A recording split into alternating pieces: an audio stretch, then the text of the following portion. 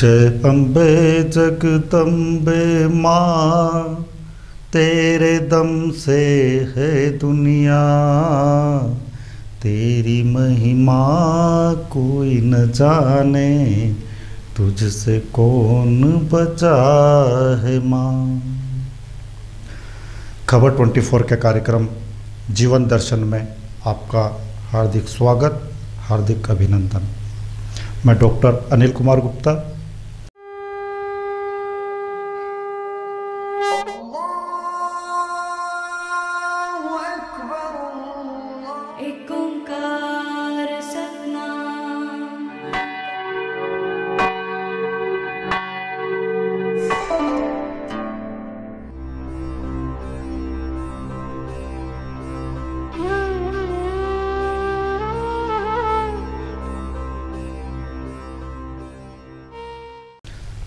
नवरात्रा पर्व की, नववर्ष की व गुड़ी पड़वा की आप सभी को हार्दिक शुभकामनाएँ, हार्दिक बधाई।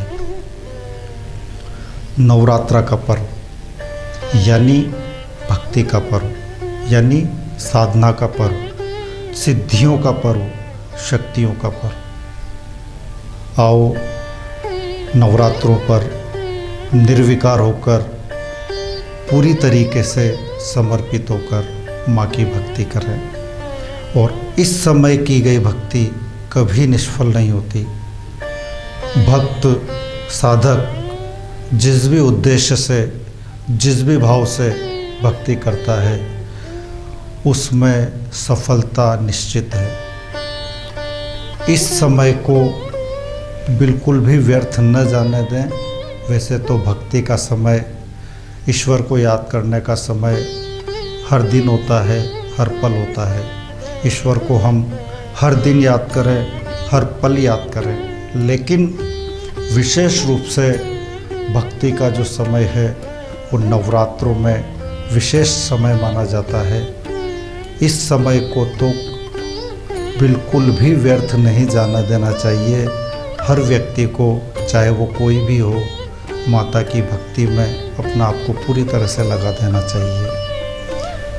इस समय जहाँ तंत्र मंत्र की साधना की जाती है, तंत्र मंत्र के लिए सिद्धियाँ हासिल की जाती है, वहीं सकारात्मक और प्रश्नात्मक भक्ति भी की जाती है। संगीतकार इस दौरान माता की भक्ति करते हुए जहाँ नई नई धुनें बनाते हैं, वहीं साहित्यकार नई नई रचनाएँ लिखते हैं। वहीं गीतकार नए नए गीत लिखते हैं, वहीं कवि नई नई कविताएँ लिखते हैं।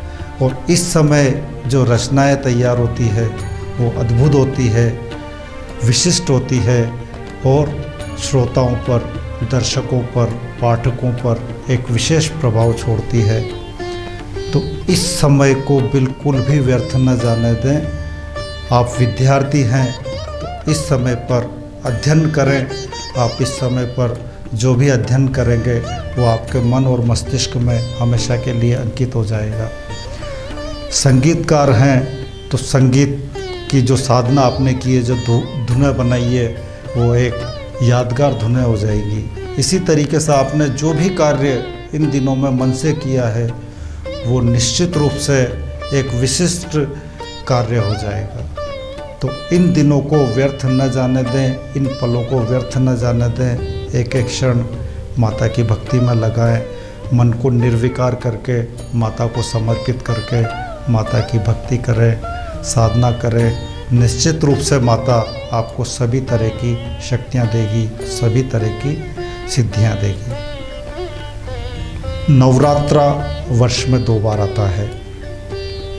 चैत्र मास के शुक्ल पक्ष की प्रतिपदा को नवरात्रा का प्रारंभ होता है और इसी दिन विक्रम संवत यानी नववर्ष का भी प्रारंभ होता है। इसी दिन गुड़ी पड़वा त्यौहार भी मनाया जाता है। इसी दिन से शीत ऋतु से ग्रीष्म ऋतु का प्रारंभ माना जाता है, जहाँ मौसम में ठंडक कम होती चली जाती है, एक सुहानापन आने लगता है। उसी मौसम में, परिवर्तन के दौर में अनेक तरह के कीटाणु, अनेक तरह के बैक्टीरिया पैदा हो जाते हैं। अनेक तरह के विषाणु, अनेक तरह के वायरस पैदा हो जाते हैं। जो कमज़ोर रोग प्रतिरोधक क्षमता वाले हैं, वो इन दिनों मौसमी सर्दी, जुकाम, खांसी, बुखार, मलेरिया, चिकनगुनिया, डेंगू जैसी बीमारियों की चपेट में आ जाते हैं। इन दिनों एक और कोरोना वायरस सक्रिय है, वो भी इन्हीं दिनों में सक्रिय हुआ है। सभी तरह के कीटाणुओं के लिए ये समय सबसे ज़्यादा उपयुक्त होता है। सभी कीटाणु इस समय अपना आप ही पनपते चले जाते हैं। और इन कीटाणुओं का नाश करने के लिए घरों में जहाँ धूप, दीप और बत्ती की जाती है, वहीं मंदिरों में हवन और यज्ञ किए जाते हैं। धूप, दीप, बत्ती और हवन और यज्ञ से जहाँ वातावरण से सभी कीटाणु नष्ट होकर वातावरण शुद्ध हो जाता है, वहीं सभी तरह की बीमारियाँ होने की संभावनाएँ भी खत्म होती चली जाती है। यह हमारी संस्कृति है।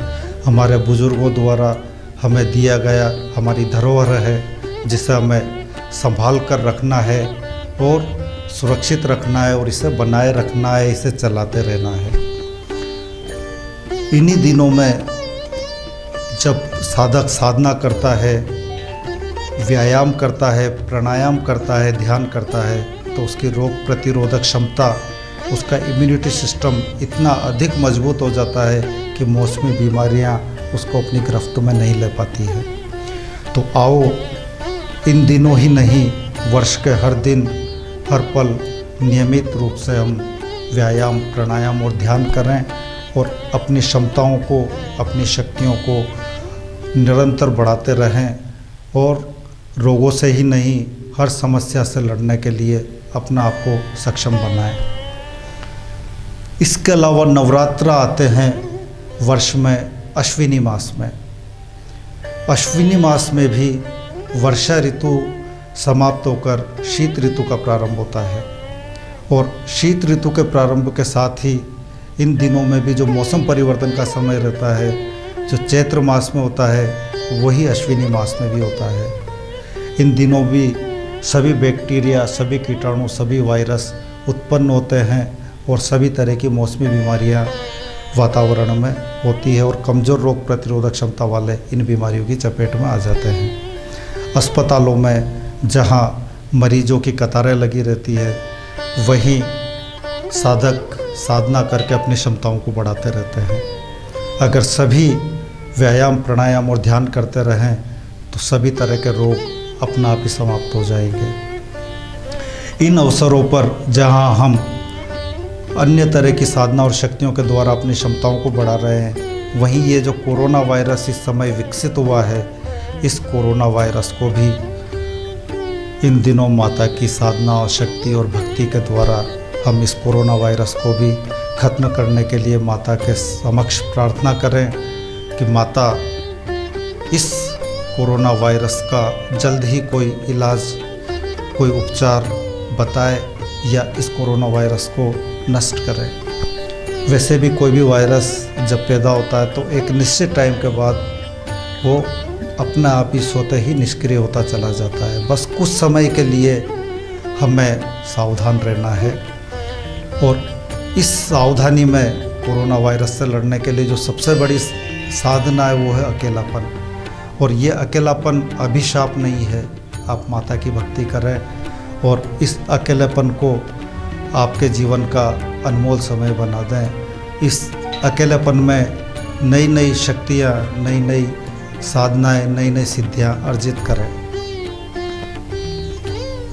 इन मौसम परिवर्तन के साथ साथ हवन यज्ञ के साथ साथ हम जहाँ वातावरण को शुद्ध कर लेते हैं, वहीं इन्हीं दिनों में वृक्षों से पत्ते झड़ने लगते हैं।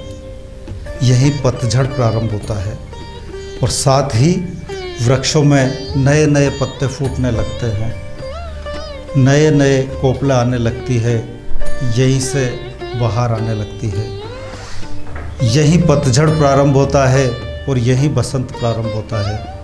यानी जीवन में पतझड़ और बसंत साथ साथ चलते हैं।